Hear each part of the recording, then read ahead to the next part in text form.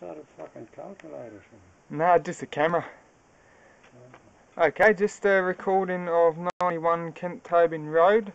Um, so yeah, this here is like a little trap.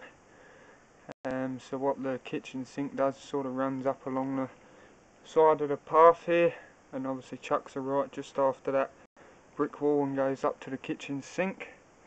So there's yeah grease and fat build up between there and then from here it sort of runs Yeah, Out.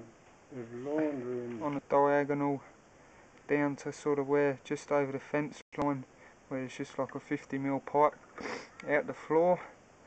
So I've jetted back up from it obviously to this. And it picks up what the laundry and stuff in there as well. But we've had water running from the sink through to here and out to there and we're yeah, running clean it's all good